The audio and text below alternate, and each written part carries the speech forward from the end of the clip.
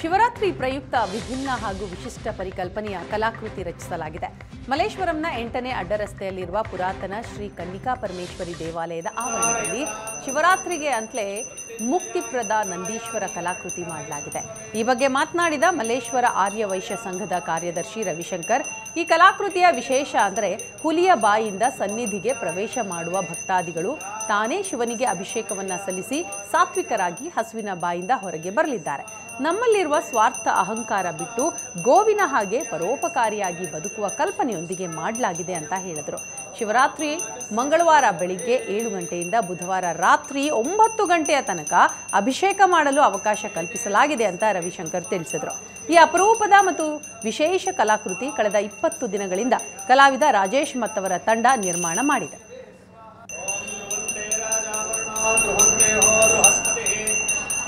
ಈ ದೇವಾಲಯದ ಆವರಣದಲ್ಲಿ ಕಳೆದ ಹತ್ತು ವರ್ಷಗಳಿಂದ ಶಿವರಾತ್ರಿ ಹಾಗೂ ನವರಾತ್ರಿಗೆ ವಿಶೇಷವಾದ ಕಾರ್ಯಕ್ರಮ ಮಾಡ್ತಾ ಬರ್ತಾ ಇದ್ದೀವಿ ಈ ವರ್ಷದ ಶಿವರಾತ್ರಿಗೂ ಸಹ ವಿಶೇಷ ಕಾರ್ಯಕ್ರಮ ಮಾಡ್ತಾ ಇದ್ದೀವಿ.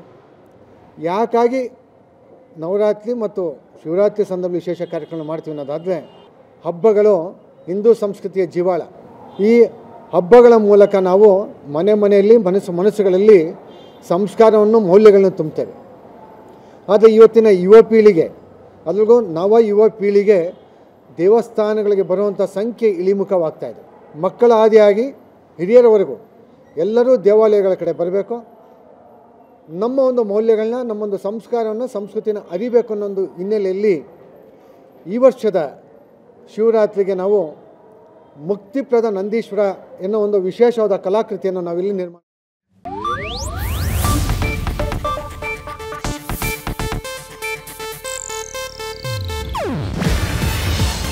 ಏಷ್ಯಾನೆಟ್ ನ್ಯೂಸ್ ನೆಟ್ವರ್ಕ್ ಪ್ರಸ್ತುತಿ.